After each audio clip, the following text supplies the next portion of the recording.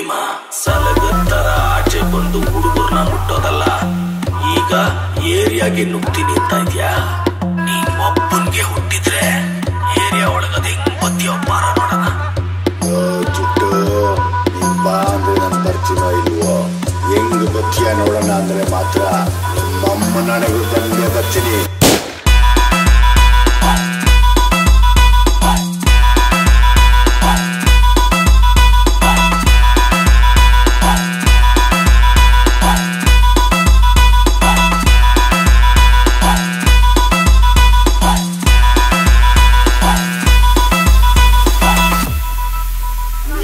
ಸಾವಿರ ಜನ ದುಶ್ಮನ್ ನನಗೆ ನೋವರಿ.